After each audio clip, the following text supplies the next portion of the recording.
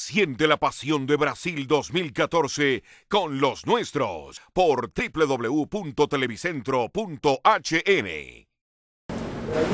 Así es, Evangelina, el subcomisionado Leonel Sauceda, jefe de Interpol, una captura, un panameño que tiene alerta roja a nivel internacional. ¿De qué se trata? Bueno, queremos manifestar que el miércoles de la semana anterior, la Fuerza de Seguridad Nacional Interinstitucional logró la captura de una persona.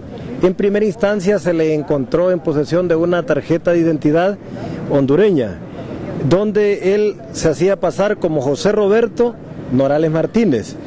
Pero de inmediato, al ver las imágenes, siempre hay ciudadanos de buena fe, llamaron a Interpol manifestando que al parecer esta persona se trataba de un ciudadano de nacionalidad panameña. En coordinación con las Fuerzas Armadas, con todas las unidades de la Policía Nacional, Investigación Criminal, con las demás unidades de inteligencia de la policía, logramos establecer que el verdadero nombre y nacionalidad de esta persona responde a Carlos Luis Rubino Heilot. Él es de nacionalidad panameña, tarjeta de identidad 3-707-417. Y al hacer la consulta a nivel de búsqueda rastreo internacional, se logró establecer que él tiene una alerta roja de búsqueda internacional por parte de los Estados Unidos de Norteamérica porque esta persona cometió un hecho delictivo en el año 2010.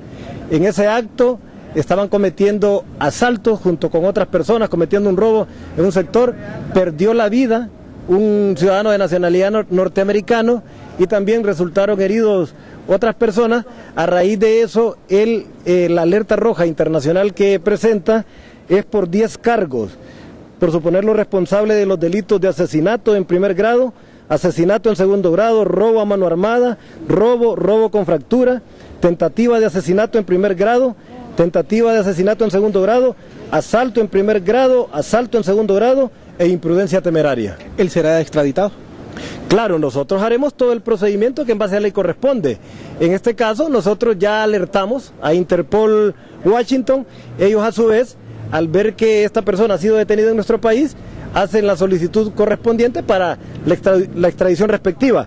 Lo importante aquí es el trabajo de forma coordinada que estamos realizando todas las instituciones del Estado a fin de dar respuesta contundente contra la seguridad nacional.